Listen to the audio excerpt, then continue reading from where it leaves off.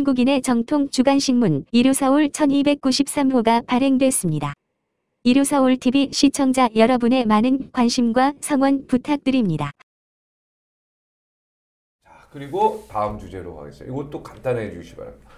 좀 이제 좀 이제 신내림이 좀 이렇게 와- 오셔서 이제 예언자적 입장. 아 도남정 또 그만 다녀. 아, 그게 기독교 아니- 신자가 왜 도남정? 아, 나는 안 다녀. 점을 다닌 적. 없어. 누가 점을 봐요. 그거 아니에요. 나 안 본다니까 왜 그래요? 지금 무슨 얘기하는? 자 이제 예언자적 입장으로 가서 자유한국당 이번에 당 대표 과연 누가 될 것인가? 뭐 지금 지금 아니지 현재- 뭐 게임 긴 얘기 안 해도 어 지금 세 분이 나오셨죠? 한교안, 오세훈, 김진태. 황교안 오서 누가 되냐? 네. 그 황교안이 돼요. 아, 돼요 그냥. 예, 아예. 분위기가 뭐냐면 왜 이유? 이 자유한국당이 자꾸 옛날 새누리당 신한국당 시절 생각해 그때는 뭐 200만이고 이 세탁소 복덕방 이 통장까지도 선거 때는 조직으로 딱 환원될 만큼 밀접하게 확 전국화돼 있었어요. 지금 자유한국당 30만이야. 그리고 30만이 대구 경북에 이 모여 있어. 대의원의 대부분 70%가 대의원인데 그 중에 대다수가 대구 경북 혹은 다- 넓혀도 영남 전체예요. 이 사람들끼리는 서로 선배, 후배, 친구, 동료 다 통하는 사이야. 그들끼리 이미 신정적 합의를 본 거야. 우리가 이렇게 새가 몰려 있구나. 우리가 이게 전세 역전을 하려면 지구받고 싸우면 안 되겠구나. 그래서 홍준표가 난 도저히 될 가망이 없는 걸 미리 간파하고 후보 사퇴했다고 보거든요. 이유는 뭐 딴걸 됐지만 적어도 자유한국당을 지키는 오랜 세월의 역전의 용사들이 있어요. 긴 세월 동안 이 당을 내 당이라 여기고 지금 신분이 대의원인 사람들이 끼리끼리 난 의견을 내, 주고 받은 것 같아. 지금 그 점에서는 홍준표 안 된다. 오세훈 약하다. 누구도 안 된다 하면서 일종의 내부 consensus를 모아서 황교안으로 모았다는 분위기가 너무 딱 감지가 돼. 정보가 들어온 거예요 information이? 그건 아니고 아니에요. 기- 저 형의 여러 가지 도남동 분위기. 어, 이렇게 이쫙 오는 기운으로 분위기. 기운으로 네. 느껴지는 게 기운으로 쫙. 자유한국당을 지난 세월서부터 지켜온 사람들 내에 이 패배감이 있잖아. 절망감, 패배감. 그래서 우리가 다시 일어서려면 해서 뉴페이스이자 여러 가지 각도로 그들끼리 의견을 모아서 선택한 황교안이 일종의 대세처럼 쫙 파고다 공원에 뭐 이렇게 퍼져 있는 거야. 그래서 그, 그걸 막을 돌이 없는 것 같은데. 없다. 자, 어 이게 이제 그 민주당 지지자 아니면 좌파 쪽에서 바라는 희망사항이죠. 아, 왜냐면 이거는 좌파 쪽에서 바라는, 바라는 희망사항이죠. 제가 한번 일전에 자유한국당 대표가 누가 되면 좋겠냐 그랬을 때 제가 한 얘기 기억나시죠?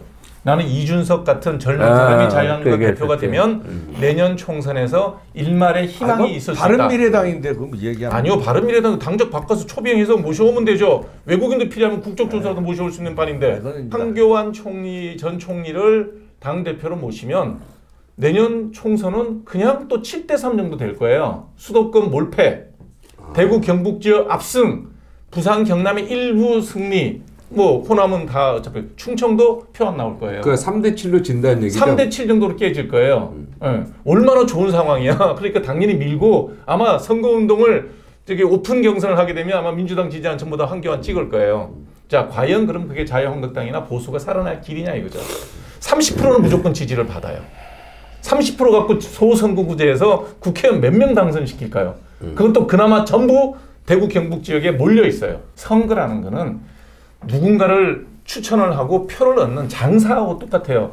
유권자들은 물건을 사는 구매자들이고 선거에 출마하는 사람들은 물건을 팔러 나가는 거예요. 민주당에서는 이런 사람이 나오고 자유한국당에서 이런 사람이 나오고 우리 물건 사세요를 경쟁을 아니 그럼 누가 하는데 될 거냐고. 자유한국당의 미래를 위해서 생각을 좀 잘해보려는 거예요. 어떤 생각을 해야 되느냐? 어, 어떻게 생각이야? 자, 호남 분들이 노무현 대통령이 그렇게 이뻐서 찍었을까요? 전라도 광주 지역에 있는 분들이 부산 사람이 얼굴도 잘 모르는 사람인데 민주화 운동을 했다는 민주화 운동 한, 한 사람이 한두 명도 아니에요. 그러나 노무현이라는 후보를 내세우면 우리가 추구하는 이데올로기, 우리가 추구하는 바를 얻을 수 있다고 명백하게 정치적 선택을 한 거예요.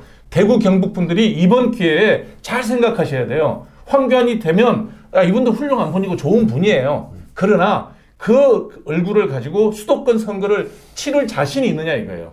수도권 선거에서 백전백패입니다. 강남도 질 겁니다. 또 형은 오세훈 시장을 지지하는 거네 그럼 어떻게? 좋아하지 않아요. 나는 오세훈 시장 선거 나왔을 때 투표를 안 했던 안 했던 사람이에요.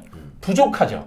부족하지만 다음번 게임이 총선이잖아. 이번 지방선거 어떻게 됐습니까? 홍준표라는 당대표가 나쁜 사람이라서 안 된 게 아니잖아요. 이미지가 좋지 않았단 말이에요. 뜨뜻미진하게 지지를 하더라도 수도권에서 어떻게 버텨볼 만한 사람. 그러면 나는 오세훈 대표밖에 없다는 거예요. 그러면 오세훈 시장이 될 거라고는 느낌은 있어요? 똑같아요. 안 될 것 같아요. 안 될 것 같아요. 황교안 총리가 네, 되는 그, 분위기라고 네. 해요. 황교안 총리가 될 건데 희망은 오세훈 시장이. 될 거예요. 여기는 안 그러면 희망이 없다는 현실적으로. 황교안 총리가 될 거고. 될것 자, 같아요. 형님. 저는 그 이제 대선이라든지 총선이라든지 이런 거는 우리 국민들이 결과 놓고 보면 굉장히 현명해.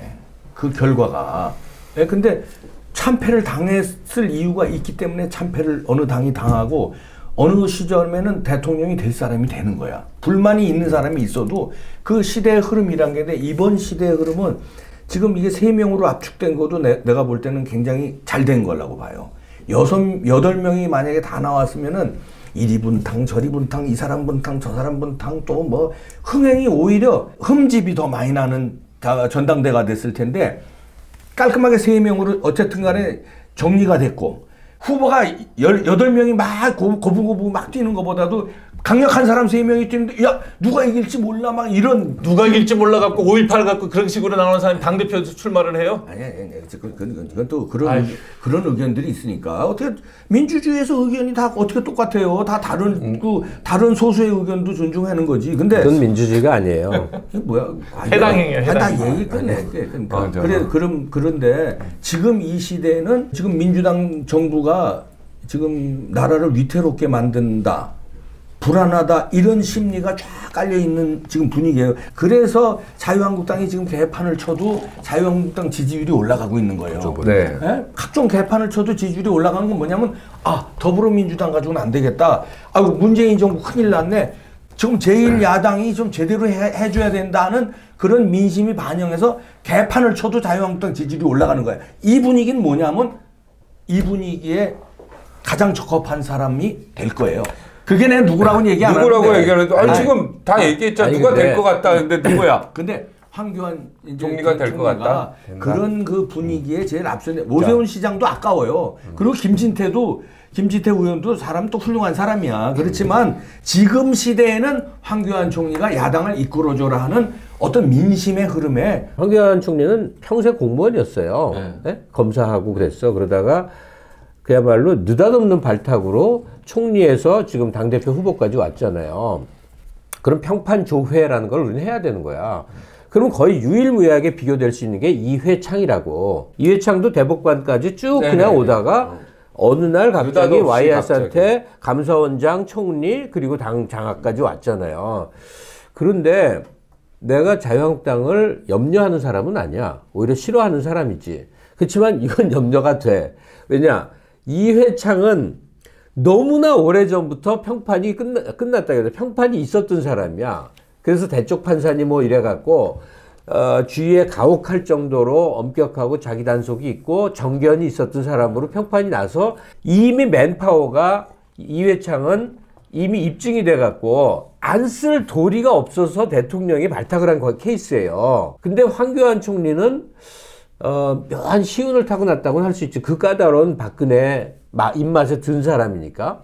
그런데 평판에 의해서는 사실 정반대, 자기 보신이 너무 강한 사람으로 특히 탄핵 과정 동안에 보여준 모습을 보면, 야, 이거는 좀 제가 옮기기 좀 그런, 그러니까 자기밖에 모르는 어떤 행태에 대한 몇 가지 증언들이 있단 말이에요.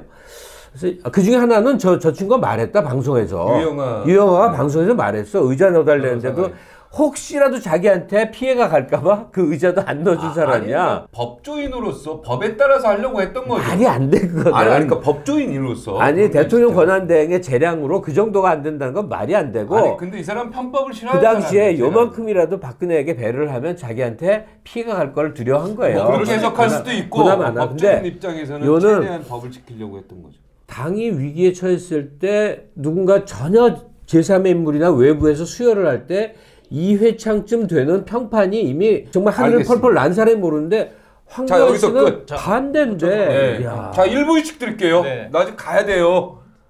가세요. 점심 세 명- 약속이 세 있어. 명이서 아. 형 세 명이서 네, 할래? 네, 가셔도 형 돼요. 중간에 네. 먼저 하겠습니다. 네. 저기 바쁘면 저도 한마디만 하면은 먼저 하세요. 아, 하고 왜냐면 가세요. 세면 세면 황교안 황교안 황교안 아니야 다 지금. 도남동가냐? 아니 아 나는 이제 사실은 5대5 정도로 봤는데 내가 이 좀 그 가까운 사람들 황교안 저기 총리와 가까운 사람들 또 오세훈 총리와 가까운 사람들하고도 또 내가 연락을 하니까 어 황교안 총리를 돕는 사람들은 아주 적극적이에요. 오세훈 지금 시장을 돕는 사람들이 조금 미지근해. 어 약간 그러니까 도울 때는 확실히 막 목숨 바쳐 도와야 되거든요. 그 측근들이. 그 부분에서 이제 맞아. 약간 네 될것 같냐, 안 황교안 되겠냐. 총리 측근부 쪽보다는 조금 약간 황교안 쪽은 될 것 같으니까 딱 걸어버리고 엄청내요. 공천 거의- 바라고. 이제 거의 뭐 목숨을 걸고. 공천 그래서 바라고. 야 이게 결과는 뭐 다 예상이 되는 뭐 본인은 오세훈 시장이 되기를 원하지만 아니요, 제가 아는 건 자유한국당이나 한국의 보수 될 진영이. 그나마 숨이라도 쉬려면 다음번 총선인데 자 지금 대권을 민주당이 갖고 있죠. 지방의회 권력 다 저는 여기서. 먼저 형 네, 인사하고 먼저- 네, 네. 가도록 끝내, 하겠습니다. 그러니까 끝내. 맨 마지막에 남아 있는 게 내년 총선인데 내년 총선에서 지금 같은 구도로 선출을 한 그, 대- 국회의원 선거에 들어간다 그러면 7대 3이에요. 개헌선이 넘어갈 거예요. 아무리 정권이 지금 현재 잘못하고 있다고 얘기하는데 그건 보수 진영 얘기고요. 대통령 지지도가 48%예요. 국민의 민심의 절반 가까이는 아직도 문 대통령이 하고 있는 정치적 행보에 대해서 지지를 한다는 거예요. 요 선거 그대로 내년에 가는데 이걸 바꿀 만한 정도의 매력적인 야당 지도자가 나와줘야 되는데 지금 셋 다 별로 불만족스럽지만 그나마 수도권에서 자기가 나가서 선거운동을 도와줬을 때 도움이 될 사람이 누군지를 생각하고 뽑지 않으면 자한당은 내년에 필패입니다. 근데 자한당을 그러면은 네, 자한당을 네. 새롭게 일으켜 세울 수 있는 정말 뛰어난 인재가 사실은 존재해요. 누구야? 뭡니까? 근데 지금 고등학교 다니고 있어요. 20년 뒤란 얘기. 자 여기서 오늘 일요서울 TV 주간 박종진은 여기서 마치도록 하겠습니다. 고맙습니다.